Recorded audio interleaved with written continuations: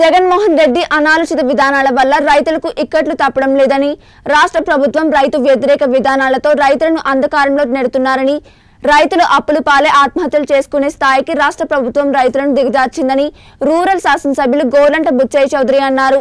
తూర్పు గోదావరి జిల్లా స్థానిక కడియం మండలం మాధవరాయుడు పాలెంలోని పంట పొలాలను రూరల్ శాసనసభ్యులు గోరంట్ల బుచ్చయ్య చౌదరి పరిశీలించారు.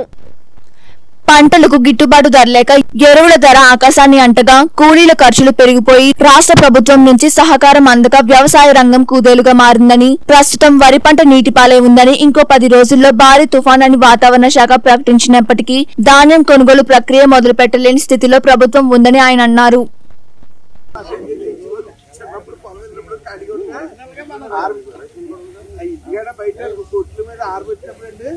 డిమాండ్ చేస్తున్నాం.